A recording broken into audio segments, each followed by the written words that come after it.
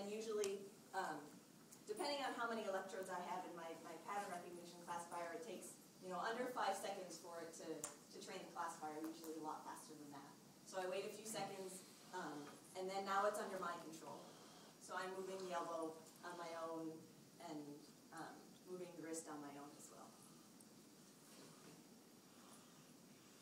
Does it give any any audible signal that it's finished training? Um, right now it doesn't, um, but that, that, um, a beep or something could be, um, placed on it, so I guess. So let's try. My hair still is messy, Your so hair I is need still to, a uh, mess, you need to focus on that.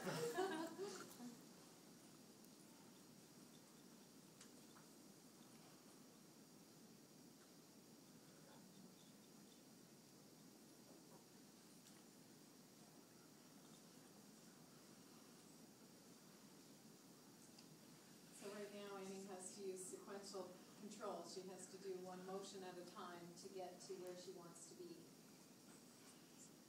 I keep picking up the table cloth, my problem.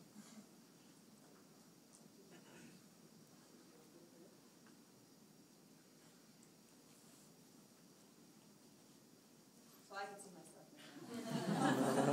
My hair looks okay, so we're all set.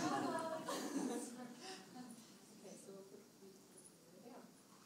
And I'm using that proportional control so that my elbow just doesn't bang on the ground, um, on the table. I'm actually trying to set it down softly.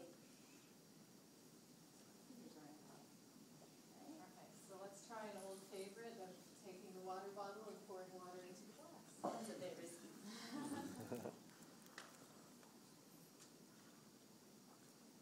And it's a little bit difficult, I don't have any shoulder control. Um, I'm just gonna kind of bend my knees so I can get it in the right spot.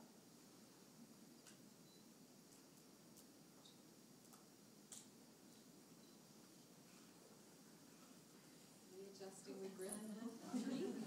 Blair put the cap on, and he usually does it pretty tight, so it's not, Have him hold the glass.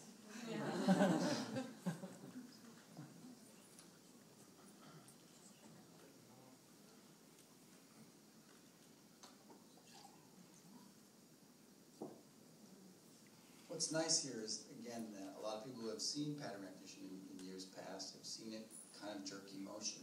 With some of these smoothing techniques, you don't get that. She gets fine control, she can open a little bit instead of blowing it open, and she doesn't get,